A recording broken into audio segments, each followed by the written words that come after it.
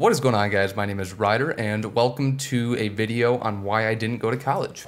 Before we even get into this video, I am not saying do not go to college. I am not saying it's not worth it. It completely depends on what you want to do. For me personally, I knew as soon as I was a junior in high school, I knew I was not gonna go to college. I knew I didn't need it for where I wanted to go and it just didn't make sense for me. I told myself from a very young age, I knew I wanted to work for myself. I knew I didn't want to make anyone else rich. I knew I didn't want to spend 40, 45 hours a week in an office for somebody else's business when I know that I'm just as capable, if not better, to do it myself. So while everyone else was applying and doing all the college shit that you do, I was kind of just sitting there with uh, really no plan at all. I actually had like a 3.2 GPA in high school and I rarely did homework. I, I kind of believed that I was already there for seven hours. So any homework that I had, I could either do it during school or the hours that I was there, but I wasn't gonna waste my time outside of school to go work on it. And really now it's almost less relevant than ever considering the fact that we have AI, which will basically replace everything that school is trying to teach us. And we should probably work towards uh, problem solving and other communication skills back to the point of the video, it really depends on what your goals and ambitions are, right? So if you want to be a doctor or a lawyer, it's no question. It, it, it's not a, it's not a discussion if you should go to college or not. Obviously you must. So I'm not saying not to go to college. I'm just explaining why I didn't and why you shouldn't if you don't know what you want to do and you want to own a business of something along the lines of that. And if you are in college, I'm going to cover a few things that kind of the best ways to alleviate your debt or the best strategies that I would recommend or I would do if I was in college and I had student loan debt. Now again, if you want to be a teacher or do something along those lines, it's a non-negotiable, you must go. But if you don't know what you're doing and you don't know what you want to do, there's really no point to go. I graduated in 2020, so I guess three years ago now, technically. And I've been out of school for about two and a half years. Now, when I was a junior in high school, a guy came into my financial literacy class and he spoke about how he's a real estate investor and how he has a management company with about 30 employees. And so I ended up DMing the guy, following him. And it just so happened as I graduated, he was looking to hire a content creator. Now, if you guys know, I obviously have been making YouTube videos since I was like 12 years old. So it was right up my alley. He was looking for someone to do one-on-one, -on -one, short form, long form, all sorts of content, basically eight to five full time for himself and his painting company. I was with him for my first 18 months after I graduated before I became a real estate agent. And essentially I learned how to run a business. I learned sales, I learned management, I learned how to manage people. I had eight painters under me. And then I also was working one-on-one -on -one with a guy who was doing $50 million deals next to me. When I landed the job, I was not concerned with pay. I was strictly going for an internship slash mentorship and I was gonna provide work for a good price and I was gonna take away knowledge. That was my only concern, was knowledge and learning and understanding what I need to do to be able to be in his position. So right off the bat, I did content creation, which I really only did for three months, but I was working one-on-one -on -one with him, got tons and tons of experience on managing people and running a company with multiple layers, different levels, a lot of the legal stuff that you have to understand, even a lot of tax stuff, really just every aspect of a business. So I did the content creation for three months and then I actually became a sales rep and manager. I know I probably have already told this story before on my YouTube channel, but I was sales and management for about a year with the painting company. I was essentially running everything after the first few months and it was basically all on me. So I ran this painting company for a year straight before I did a little bit of property management for my last three months with the company. And that was enough time for me to really get a good understanding on A, how money works, B, how businesses work, and C, how to structure a business, how to, how to start, how to get leads, how to follow up with customers, really every step to a business is just simply from doing it and learning and getting the experience with another company. Now, again, it depends on what you're going to college for, but if you're looking to run a business, I think that being inside of a business and understanding and seeing firsthand how it operates is going to teach you so much more. We learn more from experience than we do from a professor that may have never even been in the position of running a business, but rather has a course or business class to teach. Again, not knocking the professors, it's their job. They've learned, they probably have some credentials, but I'm guessing it's not the same as having the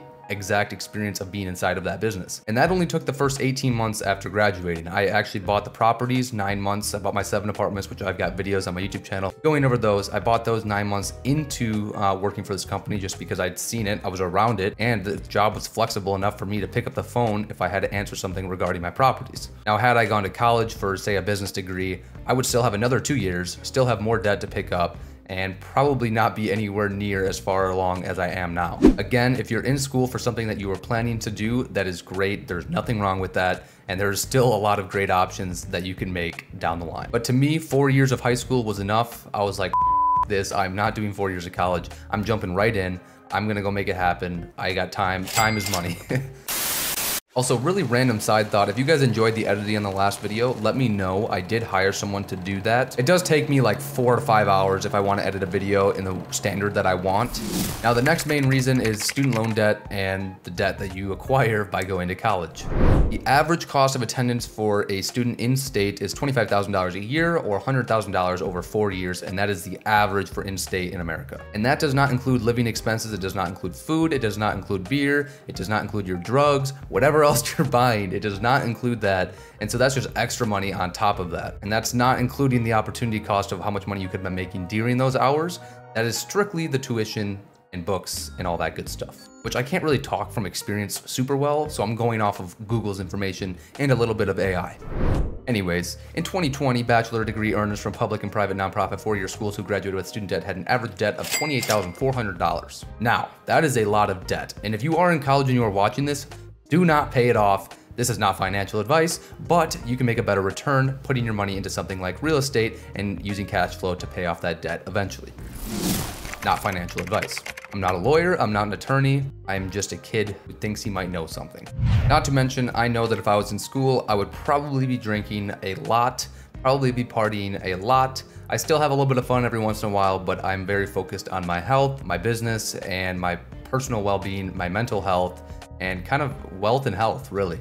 A healthy 20 year old with $5 is more wealthy than a 60 year old man with $5 billion. Does not matter. You have time, and time is wealth. But I was talking about like money wealth before, but in this case, health is, is more important than wealth at any stage in life. Don't get me wrong, if I pull up, it's, it's gonna be a good time and I still have fun. I, I'm not gonna say that I don't, but I do know that the odds of me cracking open a beer at noon on a Wednesday would be much higher than they are now. Again, not necessarily anything wrong with that, but it's just not the best for me right now.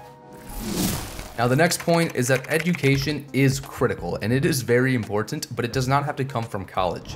Like I was saying before, experience is just as valuable, if not more important than just hearing it into your ears. At the end of the day, you are gonna fail and you're gonna learn the most from your failures over anything else. If you fail once, you're gonna learn what not to do, make the corrections, and then make it the right way. The person that I worked for who has now 2,000 apartments or something like that, he was skipping his college classes and the only reason he went was to play football, but he was skipping his classes to read books on how to invest in real estate, understanding how money works, and that's how he spent his time over going to class. Obviously, if you're gonna be going into trades, there's all sorts of training for if you wanna do welding, trucking, whatever it is, those types of trainings are there for you and you can relatively get into those pretty, pretty cheap. And oftentimes those can pay just as well as some people that are going to a four-year degree starting off at an entry-level job. Again, I'm not knocking college. I'm just saying why it doesn't work for me. I think every single one of my family members, both my sisters, my mom and my dad, they all got four-year degrees. Well, we'll see if my younger sister makes it, but I knew it just wasn't for me and I just knew that. And if you're going and you don't know what you want to do, then figure out what you want to do because you're just burning money. What if you end up wanting to be a real estate agent after doing four years of college,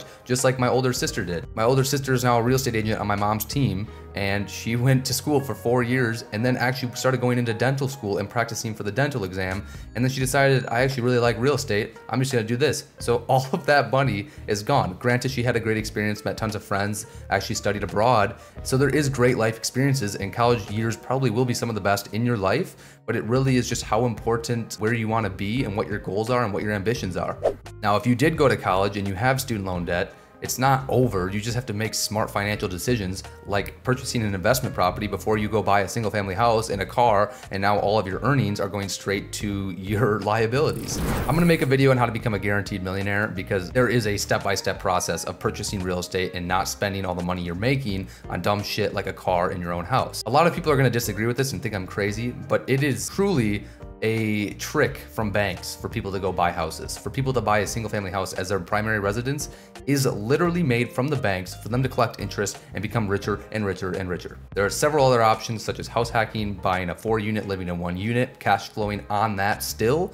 And you have money coming in every month instead of out. And don't get me started on the cost of home ownership. I know your monthly payment might be cheaper than renting, but by the time you add in all of your lawn care, your repairs, like furniture, everything, it costs so much to maintain. It is not a great investment. But that's a video for a whole nother day. I won't even get into it because I could rant on that all day, all night. Again, I'm gonna be trying to make weekly YouTube videos. I'm gonna be trying my best. My time is very, very crunched. There's a lot of things I have to take care of in a day, but I do really have a passion for, for creating content online. And so this is something I will continue to work towards as the year progresses. If you guys don't already follow me on all my social medias, those links are in the bio. If you enjoyed the video, drop a like. If you wanna add to the discussion, drop a comment and I will respond and I will see you guys in the next video. Thanks.